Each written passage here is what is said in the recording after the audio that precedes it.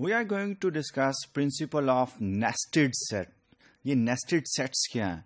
Nested sets ऐसे set हैं जो कि S1 सबसे बड़ा सेट होता है बाकी S2, S3, S4 all these sets are contained in each other S one सबसे बड़ा S2 S1 में कंटेन्ड होगा S3 S2 में कंटेन्ड होगा इसका मतलब है S3 S1 में भी कंटेन्ड होगा.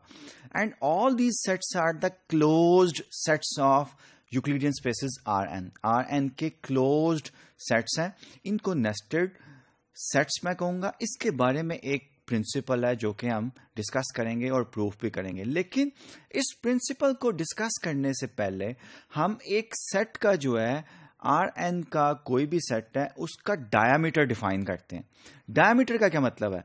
कोई भी एक सेट है सपोज़ आर टू आप ले लें आर टू का सेट तो उसके उस सेट में डिफरेंट पॉइंट्स लें।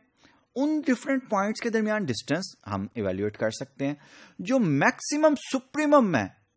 उन हर दो डिफरेंट पॉइंट्स के दरमियान डिस्टेंस का जो सुप्रीमम सबसे बड़ी वैल्यू है, उसको मैं कहूँगा this is the diameter of the set ठीक है?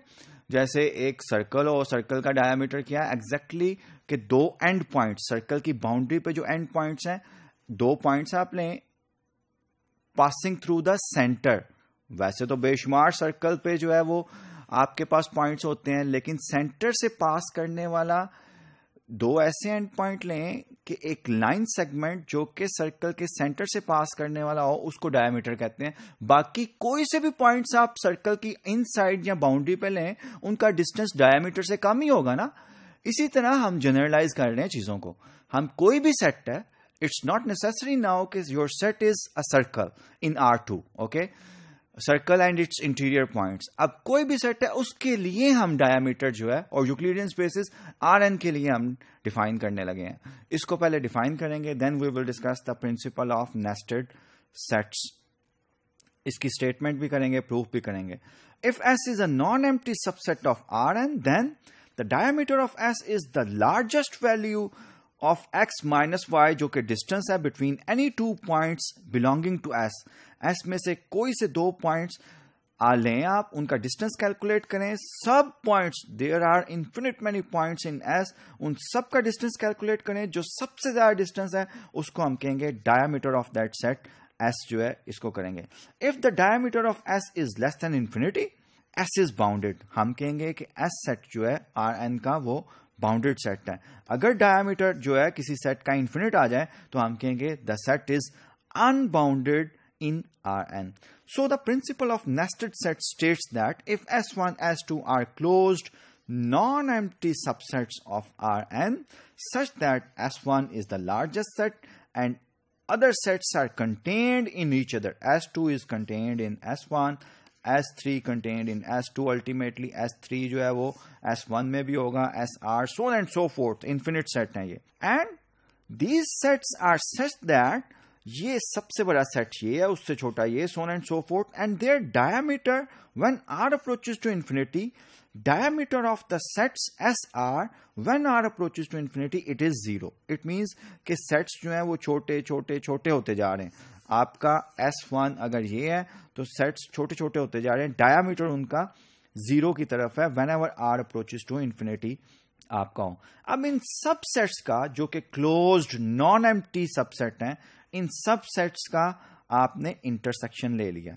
That intersection contains exactly one point so इसके प्रूफ में मैं दो स्टेप्स में करूँगा। पहला स्टेप ये होगा कि आई जो है आई नॉन एम्प्टी सेट है, और इस सेट में एक सिर्फ़ एक ही पॉइंट है जो कि एक्स बार मैं बनाऊँगा।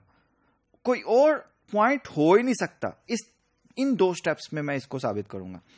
अब इसको साबित किस तरह करते हैं? Let's go through through the proof let X R be sequence such that X R belongs to S R R R greater than और इक्वल्स टू वन है। ये एक्स आर सीक्वेंस को ही मैंने ले लिया because this is the condition जो कि hypothesis में है X R belongs to S R है if R is greater than equals to K so X R minus X S less than equals to diameter of course diameter S K K diameter से कम होगा ये distance अब ये diameter किस तरह के इस सेट के?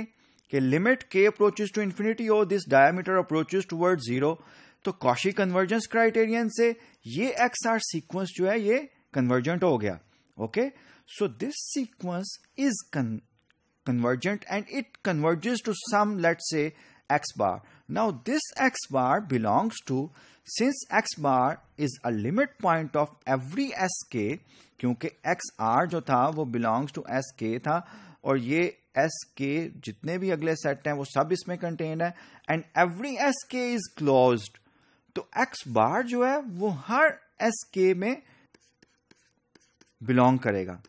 एस के में। और एस के जो है S one is the largest set सब कंटेन करते हैं। इसका मतलब है एक्स बार जो है, वो ऑल सेट्स में कंटेन होगा।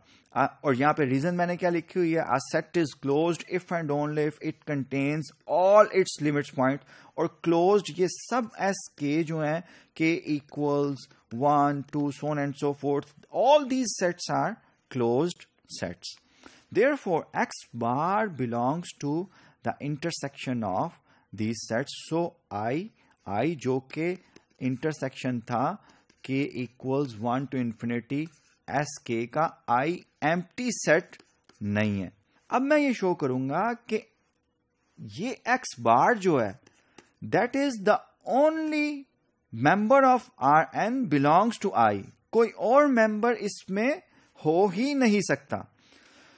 Moreover X bar is the only point in I since अगर y बिलोंग्स टू i हो then x bar minus Y less than D S K होगा। ये होगा ना diameter of S K now if I take limit K approaches to infinity diameter of S के किस तरह के सेट्स हैं?